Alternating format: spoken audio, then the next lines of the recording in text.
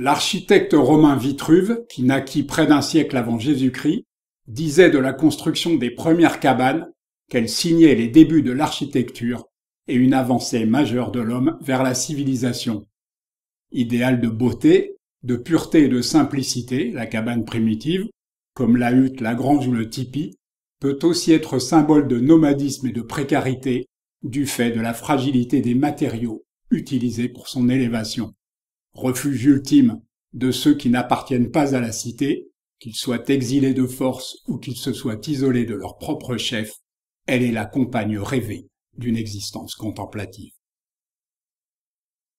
Le petit Ruisdel de la semaine est une rareté. Je ne saurais vous dire précisément quand il lui a été attribué avec certitude, mais on sait maintenant qu'il l'a peint, alors qu'il était encore adolescent. Inconnu chez nous, ce peintre et sculpteur britannique est une star dans son pays. Vous connaissez d'ailleurs ses œuvres si vous êtes allé à Londres, puisqu'il est le concepteur des lions de Trafalgar Square.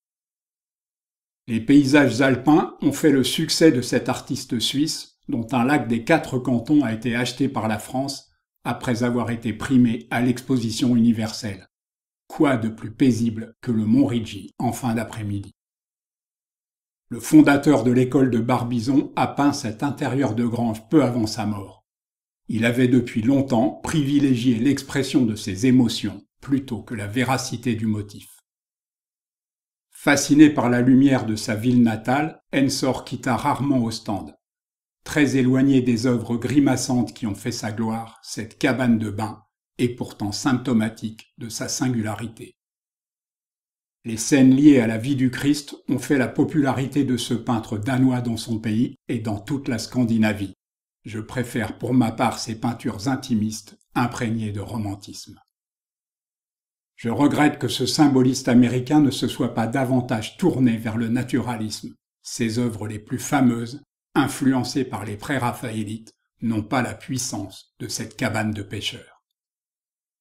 Ces garçons dans la paille réveillent en moi les réminiscences de certaines vacances de mon enfance. Le peintre avait d'ailleurs passé sa propre jeunesse dans la ferme tyrolienne de ses parents. L'œuvre de ce peintre norvégien est maintenant familière à ceux qui visionnent mes vidéos. Y ayant étudié puis enseigné, il est très représentatif de la qualité de l'école de peinture de Düsseldorf. Winslow Homer est une icône aux États-Unis l'équivalent marin d'un Edward Hopper ou d'un Norman Rockwell. Mais contrairement aux leurs, ses travaux de peinture et d'illustration se distinguent par leur objectivité. Je vous montre régulièrement les œuvres de cet artiste polonais qui connut en son temps un grand succès en France. Ses perdrix dans la neige sont tout simplement l'une de mes peintures préférées. Ce paysagiste tchèque mériterait d'être étudié de plus près. S'il affiche douceur et sérénité, son romantisme n'en est pas moins chargé de mystère. Une trop grande précision a peut-être nuit à sa notoriété. Cette paysagiste allemande, qui fut l'élève de Hans Good, a fondé l'association des artistes de Silésie, province qui est une sorte d'enclave prussienne en Pologne. Elle mériterait elle aussi d'être redécouverte. J'ai consacré une vidéo à ce peintre danois dont les œuvres sidèrent encore aujourd'hui par leur rendu quasi photographique.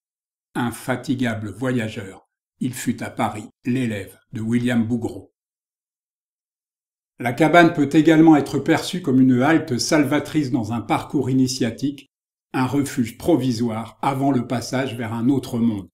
Elle peut aussi receler nombre de dangers, devenir ventre glouton du monstre, tanière puante de la sorcière et du dragon, ou se faire entre fumigé de l'ogre de la fable, celui qui mange les petits enfants mais sortez de là vivant et vous en sortirez riche d'une énergie nouvelle.